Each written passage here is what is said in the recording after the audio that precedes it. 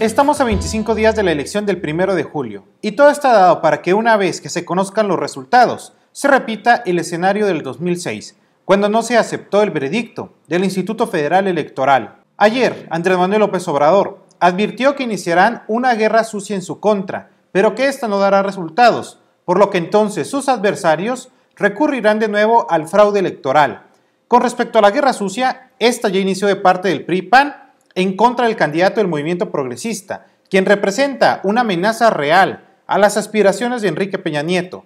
Sin embargo, aquí de nueva cuenta el árbitro, es decir, el IFE, está permitiendo esta guerra sucia que tanto enlodó el proceso electoral del 2006 y que ya está contaminando la sucesión presidencial de este 2012.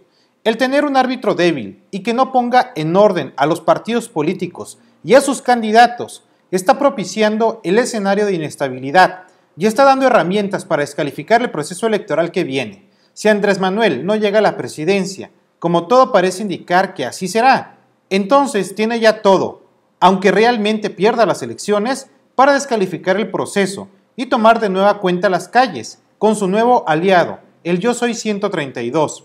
El fondo es que el IFE no tiene credibilidad, ni la confianza de los ciudadanos, su origen está viciado y la sombra del fraude del 2006 aún lo persigue. Así que si por las vísperas se conoce el día, todo parece indicar que el 2 de julio se convocará a tomar las calles tras los resultados. Habrá que esperar. Recuerde que mi compañero Miguel Fierro y un servidor lo esperamos de lunes a viernes en el programa Punto.